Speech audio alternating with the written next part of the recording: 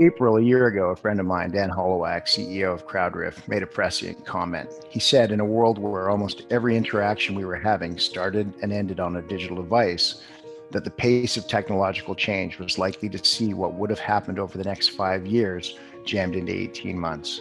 Well, that certainly has been the case as we all got infinitely better at living, working, and navigating a virtual world, or not. A year and a half later, we're still looking at another 18 months or so of recovery. And if that's the case and you use Dan's math, the changes we face over the next 10 years have basically been jammed into 36 month crash course that started in March 2020. It's not just technology, but the way we do business and how we live our lives. Remote working, grocery shopping, entertainment, travel, banking, medical services, health and wellness, employment. If you think about it, all of these have been drastically altered over the last 18 months, and they're not going to go back to the way they were before. Change is the constant now more than ever, and my next guest is no stranger to either change or a challenge. He's worked in the airline industry, the hotel industry, he's managed world class destinations, and today he heads up one of the largest and most respected tourism industry associations in the world. Don Welsh joined what was then Destination Marketing Association International in 2016 and has led a team that has reinvented and rebranded Destinations International. I've had the great pleasure working with Don over the last five years, both as a board member and as a peer, and I can say without reservation that I am incredibly grateful for the work he has championed at Destinations International. Long before COVID, DI was focused on the relevance of destination organizations and the idea of reestablishing those organizations in the context of community values. Powerful stuff and an essential part of my own personal model for sustainable destination development. Good morning, Don. How are you? Where are you? What's it like? Hey, David. How are you? First of all, what a beautiful introduction. And uh, and as we get into our discussion today, I may be one of those people that have been living on my phone Zooms, and uh, I'm actually joining you from um, my my new place. Uh, we sold our place in, in Washington D.C. recently, and we we we have relocated to uh, Millsboro, Delaware, which is uh, right near Rehoboth Beach. So I'm about a two-hour drive into D.C., and when I need to be in the city, I'm I'm there. But I'm also uh, frequently traveling, and I'm pleased to say, David, I've been on the road a little bit lately. So great to be with you. I'm just going to jump right into this one. You got way out in the front of the idea of destination relevance um, almost almost six years ago. And with with us in the industry sort of seeing the fruits of that initiative in the last three four years. What is relevance? Why does it matter so much? What do you think well, first of all, you know, I have a great team of people that uh, that I work with for, believe it or not, uh, ten years now. And uh, as you know, one of the great architects on this whole community shared value in our industry is uh, Jack Johnson. So the work that Jack has done, Melissa Cherry and our team, very proud of it. And, and I think that if you start looking at our industry, uh, you know, there there are there are quite a few silver linings we've seen since the pandemic and I would say one of uh, the biggest has been the the value um, proposition that our members have for their destinations around the world. And um, I, I, know it may be odd to say that, but I, I think in many cases, the CVB, DMO, whatever it, it, whatever name it goes by, has probably never been more relevant in the eyes of its key stakeholders, uh, far beyond just hotels and restaurants and attractions and convention centers, but also the the key leaders in communities as well as elected leaders. I think that's that's a great observation. I'm going to temper it and say potentially relevant because we know we've got a lot of work to do here. Let's go back to your your days at DMO level, Indy, uh, Seattle, Chicago. You're you're a network builder. You build a network of engaged stakeholders who move things forward. Talk to me a little bit about the days in Chicago and what it what what you can tell us as we navigate our way out of COVID and as we seek as destination organizations and destination entities to really actually achieve and become that relevance that we're talking about? Well, you know, I had the I had the good fortune of spending five years in Seattle to sort of learn the business because I didn't come from that business. Then I spent uh, two and a half great years in Indianapolis, where I must tell you, of all the places I worked in, uh, in terms of the entire community embracing a, uh, an organization, it's been Indianapolis. And uh, then went to Chicago. And the great thing there is myself and a few others had a chance to build a new organization from scratch. Uh, we created something uh, to sort of break down uh, the different organizations that it touched tourism, whether marketing or whether it was on the leisure piece or whether it was conventions. There were multiple organizations, therefore multiple messages, and we created uh, Choose Chicago. And I must say that um, the community embraced it, the key stakeholders embraced it, and when you have a uh, passionate, committed mayor as as we did, Rahm Emanuel at the time, um, it made our life a little bit easier. And um, but I think it was also the fact we were very passionately committed to our stakeholders and the brand, and we had a great city in Chicago.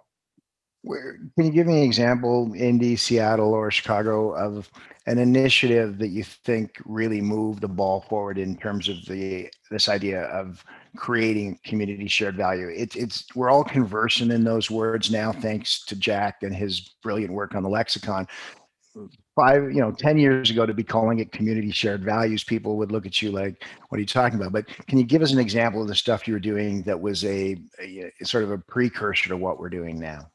You know, David, I think I had the benefit. If I go back to Seattle, since was, I was new, I didn't come from that industry. Steve Morris hired me; had been in Seattle for a long time. He he subsequently left, and I had the chance to be the CEO. And I think, I think when we began doing our own version of community shared value, and that was quite a while ago, um, we we more or less were very successful in mobilizing the the key stakeholders on the tourism side. We were able to get the hotels and the restaurants and the attractions, and we really set off on that mission. The good thing also, we were able to really engage a lot of the community leaders. Uh, you know, the lawyers, the doctors, the people that ran companies in, in Seattle, and they sort of understood where we didn't have that final, I guess, uh, that third stale, uh, third uh, uh, step on the on the on the stool was really in the area of our elected leaders and that was i guess that stood in the back of my mind that you know they saw the benefit they saw the jobs they talk saw the taxes the revenues and everything associated but they couldn't get politically behind it. And uh, you know we see that on numerous occasions in the city council. You know then i make the move to indianapolis and that's a city that i will tell you gets it at every different level uh, you know, from government to the private sector to the public sector to uh, to the tourism sector, they get it, and I think that is a unique element of uh, Indianapolis, and certainly Leonard's done a great job of uh, carrying on the great work there. You know, in Chicago, I think you know we were able to do some really cool things, and again, with Jack being there, we were able to really say, okay, we you know you can only go to Michigan Avenue so many times. You can only you know visit that strip but when we began exploring taking the message to the neighborhoods and really engaging, you know, Pils- the Pilsen community or wherever it was, the Chicago South Side and all the great things to do there, then all of a sudden it began to be a collective neighborhood brand. It wasn't just downtown Chicago. And uh, probably at the infancy stages of, uh, of community shared value, we understood that we needed to change the way we communicated to our local stakeholders we needed to make sure that somehow we didn't gloss over and throw these huge numbers uh, you know into the hundreds of millions or billions of dollars whatever the number is. But we made it we need to make sure that it related to the local community in the neighborhoods so they can understand what a tourist meant to them uh, why they should be involved in the organization. So that would be probably i'd say um, the work i was most proud of that we began actually working on a community shared value um, quite a while ago so that's amazing and fascinating for me because you know if I go back a, decade or a little less and I look, you know, Chicago's marketing was something we paid great attention to here in Toronto, Canada. You guys had nailed it, and you were on the early curve of telling local stories. Uh, you've got massive destination, you know, twin towers at each end of town, like you say, the you know the miles there but you really did start early on telling these these granular stories about Chicago, didn't you? I think we did. I think that you know you start looking at different sectors. You know McCormick from a convention standpoint, it's huge. It's a major player, but you know then we got into the culinary piece, and then we got into the art scene, and then we got into the music scene, and we tried to make sure that somehow when we told these stories, they were unique and disparate enough that they would appeal to the people that you know may be coming into Chicago just for a culinary experience and then when you started lining up all the James Beard chefs and all these great, you know, chef-owned restaurants, that began to be its own story until itself. And um, and, and, and, that did culminate with you actually getting to host the James Beard Awards. I did not culminate; it did actually had a high point. It did, and I'm pleased to say I think Chicago still is the the host city and uh, of James Beard, and uh, it really did put it on the. Uh, and you know, the same thing could be said for uh, in the area of sports. So you started taking the things that were relevant and things that were really tangible of Chicago, and you just serve them up creatively to the audience, and you know, good things happen. Well, and I I would be fascinated to be a fly on the wall watching you and Jack Johnson work through this at the time because in the process of gathering the content that would make up the stories that is the mosaic of Chicago, you cannot help but build that stakeholder alignment, can you? If the, if the stories are authentic and the people are authentic, you've already started to gather the base ingredients for for strong community engagement. You know, Jack and I were blessed also to do that. But remember, we also had Melissa Cherry as our chief marketing officer. Totally. So uh, Melissa, born and bred in Chicago, this is her home. You know, as well as Jack I'm not the native Chicagoan, but uh, they made sure whatever we did was was real and relevant for uh, Chicago. So we also had that that discipline of people that knew the market. So what we were talking about was uh, was resonated not only with the visitor but also resonate resonated with the uh, with the local community as well. Well, and I'm really glad you brought up Melissa. Always done amazing work. Um, I saw her just a month ago on the ECM con- conference. She was on the EDI panel. Fantastic marketer. Okay, so now I'm a fly in the wall, and it's it's you and Melissa and Jack. Isn't it interesting that you know in especially um, you know in in the summer 2021 when we look at community shared values, one of the key aspects that we have to remember is we're always marketing the relevancy of the DMO of the destination organization, not just to the visitor, but to our to our um, home constituents. And I, I think that's a role that's only going to grow, not in a in a virtual signaling kind of way. Hey, look at what we do. Here's our numbers. Because we've tried that. We've tried telling people just look at the numbers we create and the numbers are big and they're impressive. I, have heard you talk on this many, many times. We've we've had a pretty halcyon era of tourism growth, but the kind of things we need to communicate to stakeholders are, are the things that that we weren't communicating to them before, that weren't getting through with the numbers. That that sense of attachment. Um, your friend Greg Oates and mine um, talks about Fort Worth pivoting and really being able to to do well at the beginning of the pandemic because they'd already built some of those intentional networks outside of what he called the usual suspects? Yeah, first of all, again, looking at Chicago, you know, we had a we had a group of people that were either that adopted Chicago as their hometown. So everything we did had this this this reality to it. It was rooted in uh, not something that was ethereal in its planning. It was it was tangible. Um, you know, we didn't go into every neighborhood, all 50 neighborhoods in Chicago, and try to go across the board. We understood the elements there and you know and that's what has been so great to see what i think's transpired during this very challenging year of the pandemic. We've seen our members across the board david do incredible things. You know and do it with half the team they had prior to march of last year doing it basically on a shoestring budget. But it's amazing when there is that that uh, unification coming together between the team, uh, the, the CVB or DMO in that community, and its stakeholders to begin you know that welcoming process to get people back. And it's it's been magical to watch it. And we're fortunate you know we get a chance to see the work of over 600 destinations in 15 countries. And yeah. uh, in some cases it's really really grassroots. And in some cases uh, as the work uh, toronto's done recently uh, i know you've seen that as well as new york city to begin inviting people in their own community to come back I, I, I'm I'm really glad you said that. The um, just the barometer on the idea that this thing that we're all talking about and sharing, and this is one of the things we like to do on the show, is it's actually happening. That's the good news. Don Welsh said it today. He's been around and around more than you and I have been lately. It's part of his purview and what he does. And the stakeholder piece is happening. People, if they're not doing it, they're starting to do it. They're looking at it. Um, we all need to do that it, it's happening, David. You know, I had the good fortune a couple weeks ago to to really go to my first full blown conference, and that was at uh, WTTC down in Cancun.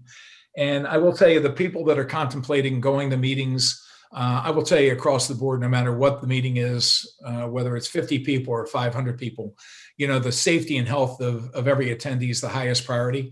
The protocols we went through in order to be able to attend WTTC and then stay in Cancun while the meeting was going on. uh, some of these best practices are being shared uh, around the world. So people are traveling, airplanes are full. Certain states, certain cities are ahead of others. I was in the Florida Panhandle last week. I visited three of our members, and they're having record years.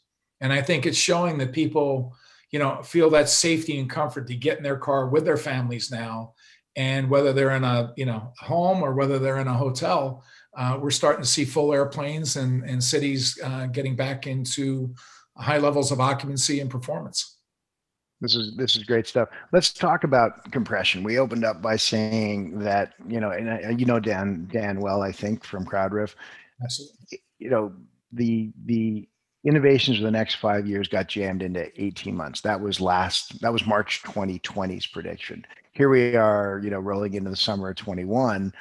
We know we've got you know 18 more months of strangeness. It's not the way it was.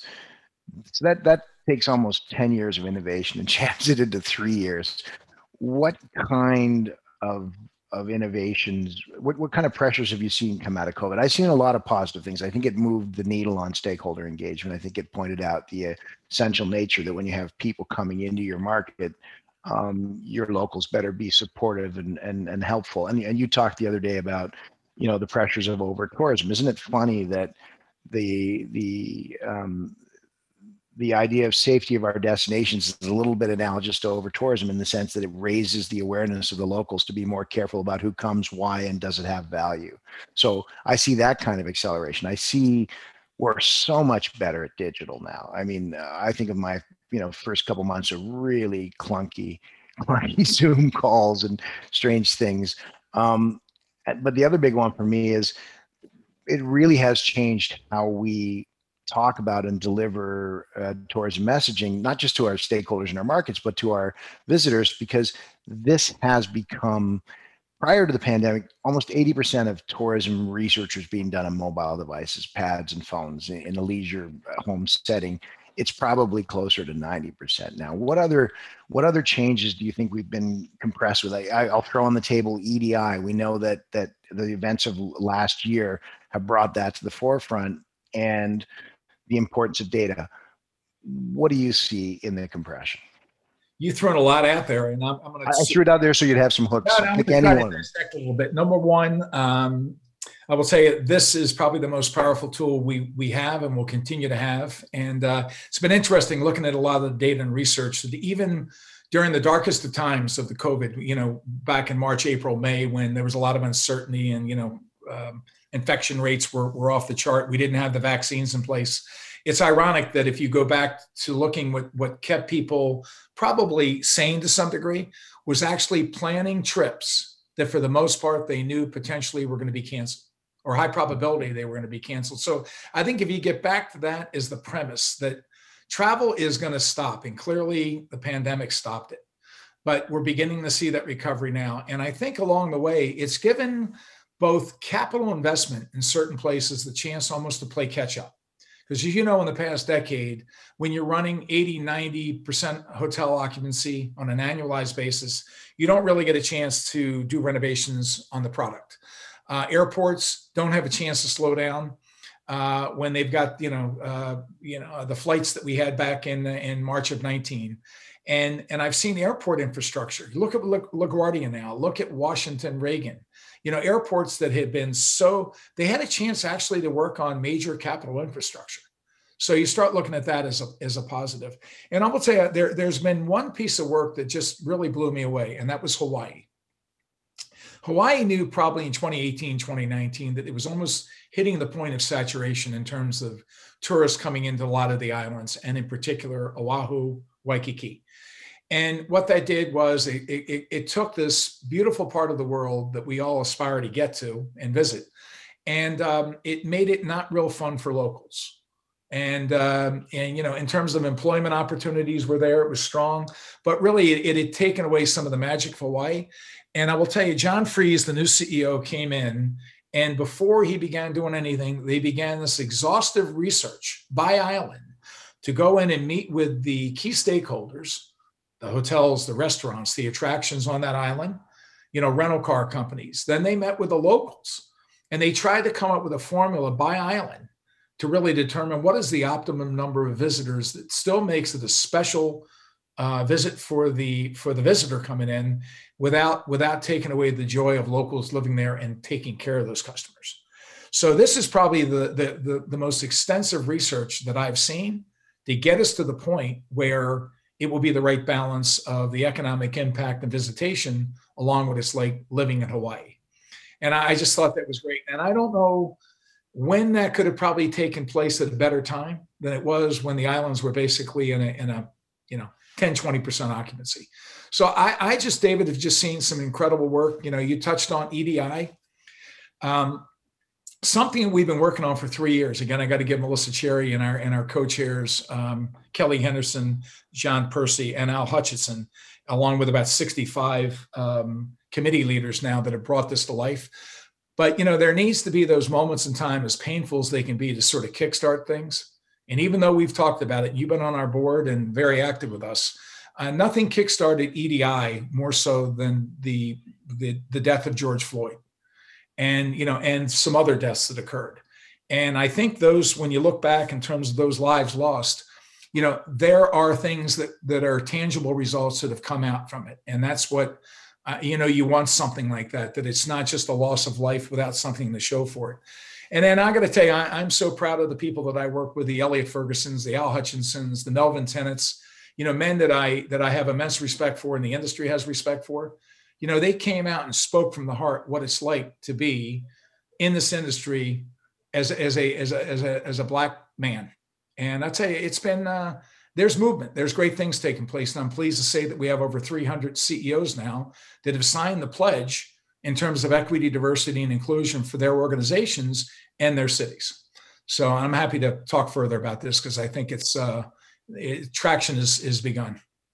Well, as I said, I'm I really am, and I mean this with the greatest sincerity. Very grateful for the work that DI has been doing under your leadership let's talk about the next chapter. And I think it actually plays off those people you just listed. One of the key pillars, one of the areas of focus has been, but going forward will be amplified, is transformational leadership.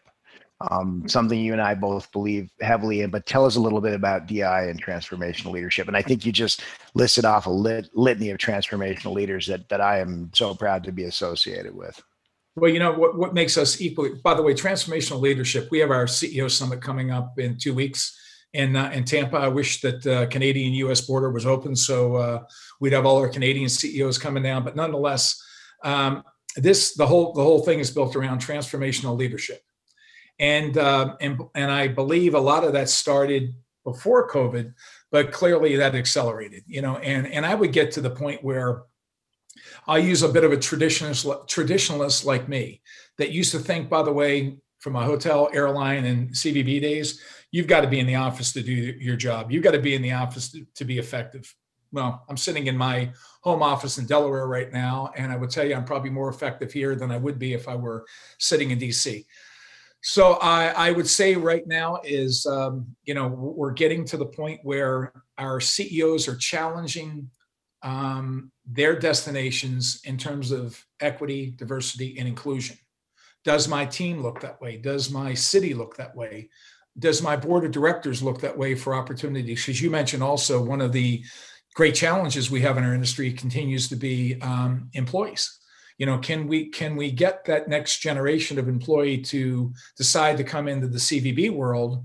Uh, because we know right now if they're con- if they're considering coming in the hospitality, we know the big hotel brands, the big restaurants, the big attractions are recruiting them right out of college. But what are we going to do that now?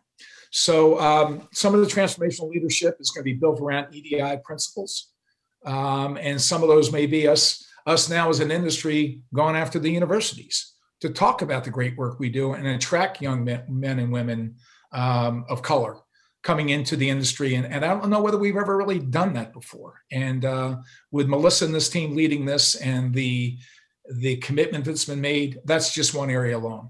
Community shared value to me is another area, David, that uh, transformational because you're talking about something different the way we've always done it. And again, I'm guilty of that as well. Jack uses me as a perfect example. Always talking about numbers and, you know, and people glaze over, you know, but tell me how that how that affects my community and my neighborhood and why I should pay attention to tourism. So a lot of good examples, and I think um, the men and women who lead our industry around the world, you know, they've been tested beyond belief uh, in this past 12, 14 months, and the way they've risen to the occasion. Um, that to me says a lot about transformational leadership.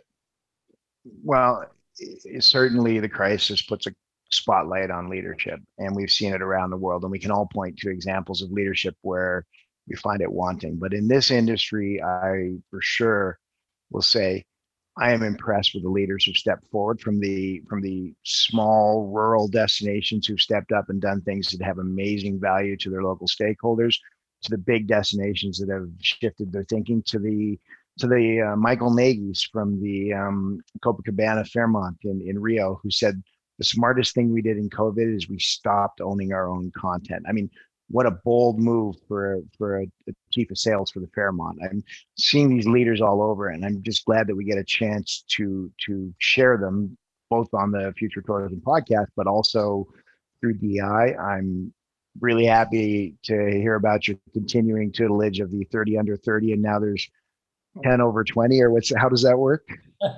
No we're we're going to continue to focus on that 30 under 30 group. I'm pleased to say that uh, this past year ironically during covid we had the highest number of submissions for uh, those 30 coveted spots and the competition's been tough but i think it's also reflective by the way of the fact that these ceos and leaders know that the leaders of tomorrow they need to invest more in them now. Absolutely absolutely all right, it's a great pleasure to have you on the show. Um, we've been running at this for half an hour, so I'm going to give you a chance for some final thoughts. If you could share um, a couple points with your peers, how do we get through this better? Um, what do we need to do, and um, any other thoughts you want to share in closing? I think one of the things we have learned, and we've learned effectively, is that the um, CVBs have become really the voice of their communities. Uh, and sometimes we've not always been that way. So we've earned that seat at the table during these very challenging times. I think the important thing now, how do we keep that seat at the table and continue to stay relevant, whether it's within city government, federal government, whatever it may be? Because you know, I work for a guy named Rahm Emanuel, as I told you, who coined the saying, "Never let a good crisis go to waste." And uh, and I don't mean that to be in a flippant manner, but I'd say right now we've got momentum. We've got momentum with our key stakeholders in our communities as well as our elected leaders.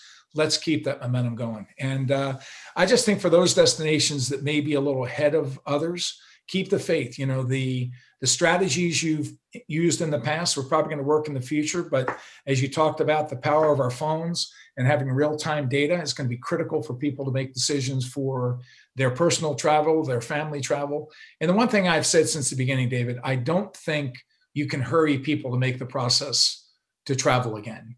When they feel it's right and safe for themselves, their families, their companies, that's when we're going to see people get back on the road. And hopefully, for the larger cities, um, it's going to be super critical that we get people back into the downtown environment, these urban communities, whether it's in their offices, because I do think that business traveler brings a dynamic in the city and allows that that restaurant, you know, Sunday through Thursday evening uh, to do well. And uh, I know we miss them as well as the the global passenger, who hopefully will be back in the next couple years when borders reopen and it's safe. Well, I know we all miss traveling, um, and uh, so many people have said uh, on the show when this when we reopen, they just feel a sense of traveling with much more purpose. And I, I totally, I totally get that. It, it, it was always appreciated. It was always a great thing, but I think we'll appreciate it all that much more now, knowing that it, it can go away and it's it's fragile and needs to be needs to be looked after. David, I went to uh, Roger Dow's uh, board meeting uh, a while back in Tampa, and I happened to walk in. I forgot to take my lanyard off, you know, with my name tag on. And I walked into a restaurant, and I got to tell you, there was the biggest smile from the general manager and say, "Man, we've missed you all. You know, we've missed the meeting attendee coming in." So I agree with you. I think that sometimes when business is so good and so strong for such a sustained period, when it goes away, I think that uh, that visitor is going to be coveted and welcome back to a degree they've not seen before. Don, thanks thanks for being here. It's always a great pleasure to talk to you. Your your depth in this industry and all the parallel industries with it is, is amazing. Great work at, at DI, and I look forward to having you back maybe in the fall, and we'll talk about how things went. I'd love to, David. Thank you. It's always great being with you.